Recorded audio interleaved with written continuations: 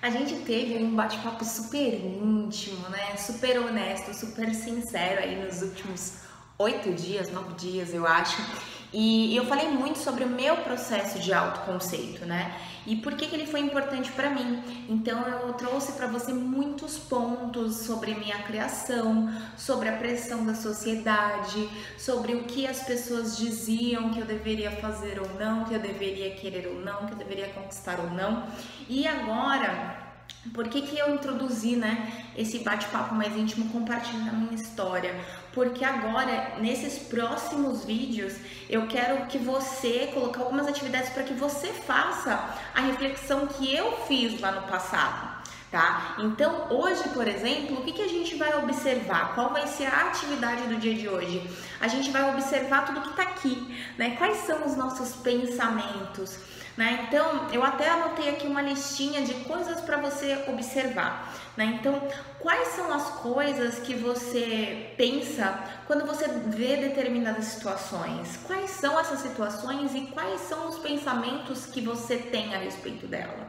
Né? O que, que você pensa a respeito do seu trabalho? Qual é, qual é sua, o seu sentimento com relação a ele? Você ama o que você faz? Você faria mesmo se você não ganhasse dinheiro para isso? ou você trabalha só por dinheiro? Essa pergunta é super importante porque eu descobri quando eu fiz esse processo que eu trabalhava só por dinheiro. Eu não trabalhava por um propósito, eu não trabalhava por algo maior, eu não trabalhava porque eu tinha uma visão. Eu trabalhava simplesmente porque eu queria meu dinheiro e acabou.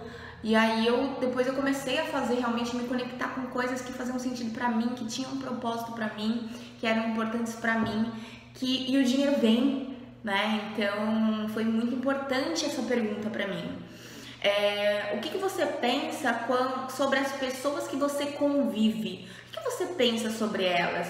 Você, e o que, que eu descobri fazendo essa reflexão? Que tinha muitas pessoas que faziam parte da minha vida, que faziam parte do meu convívio social, que eu achava que as pessoas eram babacas, ou então que eu achava que as pessoas não exploravam seu potencial, ou então que eu achava até mesmo que as pessoas eram abusivas, que as pessoas tratavam mal outras pessoas, enfim, que eu não achava coisas boas sobre essas pessoas. E foi ali que eu tomei a decisão de me distanciar de algumas delas, porque eram pessoas que não me faziam bem, porque elas não eram pessoas boas ou então não faziam coisas boas. Então é importante a gente observar isso e refletir sobre isso.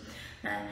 Você gosta da companhia dessas pessoas de verdade? Você convive com essas pessoas porque você gosta, porque é conveniente, porque simplesmente elas estão ali do teu lado? Por que, que você convive com essas pessoas? Você gosta delas na essência?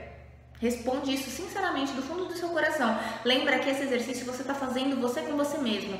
Não tem ninguém para te julgar, não tem ninguém para te criticar, não tem para ninguém para ficar apontando o dedo para você, falando que você está pensando coisas que não deveria, que você está olhando as pessoas da forma como não deveria. Você está fazendo uma autorreflexão, uma autoavaliação. É você com você mesma e um papel e uma caneta Papel e caneta não julga ninguém, tá bom? Então, faz sem medo de ser feliz, vai respondendo essas atividades, depois volta o vídeo, volta o áudio para você entender melhor. Antes de eu continuar aqui com as próximas perguntas, você que está aqui acompanhando os vídeos do 365 dias incríveis e ainda não está inscrito no canal do YouTube, vem pro YouTube, clica aqui embaixo no botão se inscrever, lembrando que para se inscrever não paga nada, tá bom? O nome é inscrição, mas não paga nada, é só mesmo para você me ajudar a ranquear aí o meu vídeo e o YouTube entender que é um conteúdo relevante e poder entregar para outras pessoas, combinado?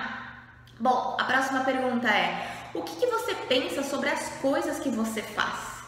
O que, sabe, às vezes a gente faz algumas coisas no modo tão automático e às vezes a gente nem reflete sobre essas coisas. E aí, pare e reflita realmente. O que, você pensa sobre aquilo, sobre aquela determinada atividade, sobre aquela determinada ação, sobre aquela determinada tarefa? O que, você pensa sobre isso?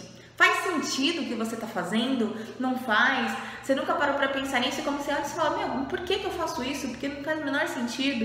Então, observe, o que, que você pensa sobre as coisas que você faz? Né? Sobre as coisas, sobre as coisas que as pessoas fazem com você, para você e por você. O que, que você pensa a respeito disso? Tá? Essa, essa etapa, né? A gente está primeiro pegando aqui os pensamentos. né? Então ela é muito importante que você faça. Então dedique aí uns 10, 15 minutinhos para fazer essa atividade porque você está se conhecendo, você está conectando com a sua essência, com a sua verdade, com a pessoa que você é, com os seus julgamentos, a sua forma de pensar, a sua forma de olhar o mundo, tá? Então é importante a gente saber como que é que funciona essa coisinha aqui que tá dentro da nossa cabeça, que é o nosso cérebro, como que os nossos pensamentos, são os nossos pensamentos sobre as coisas, sobre as pessoas, sobre o mundo, sobre a nossa vida, tá bom? Então faça essa atividade e amanhã a gente vai dar sequência nesse processo de autoconhecimento, porque ele é fundamental para o autoconceito. Né? O autoconceito ele só existe quando a pessoa se conhece, tá bom? Então, faça essa atividade e amanhã volta aqui para o próximo episódio pra gente dar sequência aí nessa, nessa, nesse processo, tá bom? Um beijo e a gente se vê amanhã.